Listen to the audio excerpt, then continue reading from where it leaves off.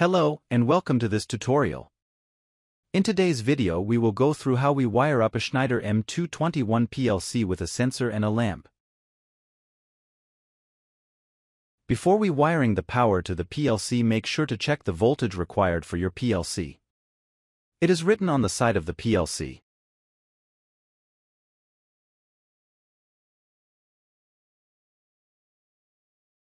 I will wire up 230 voltage AC to my PLC's power input terminal.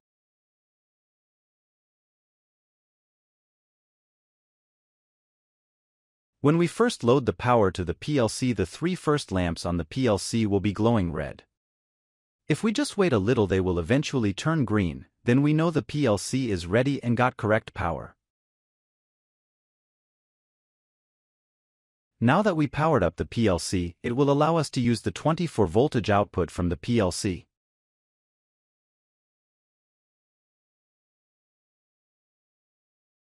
If I now check it with the multimeter we can see that we get about 24 voltage DC out from these terminals.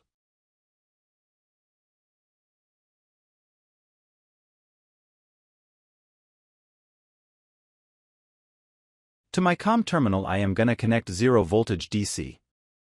This is because I am gonna connect a PNP sensor to the inputs. Make sure which type of sensors you wire to your input side. If you have NPN sensors you wanna make sure you connect 24 voltage DC instead of 0 voltage DC to the COM terminal. Else you can damage your PLC and sensor. I am using a relay-based PLC, so on my output side on the PLC we have two sections where we can decide the voltage we want to connect to them. The COM0 row are connected together with the four first output terminals. And COM1 are connected to the three other terminals. Since I will connect a 24 voltage DC lamp I will connect 24 voltage DC to the COM0 terminal. I will also connect my sensor to the PLC. The sensor have three cables connected to it.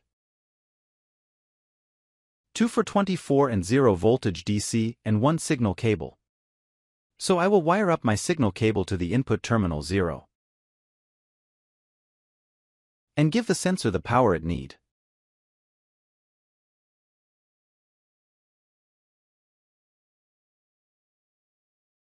Now that I trigger my sensor on the PLC, we can see that the input lamp will be flashing on the PLC.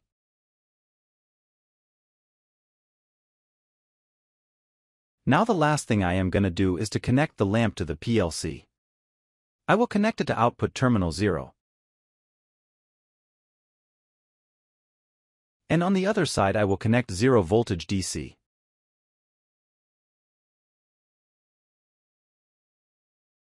I will download a simple program to the PLC which makes input 0 turn on output 0. When I now trigger my sensor it will turn on output 0 and give power to the lamp.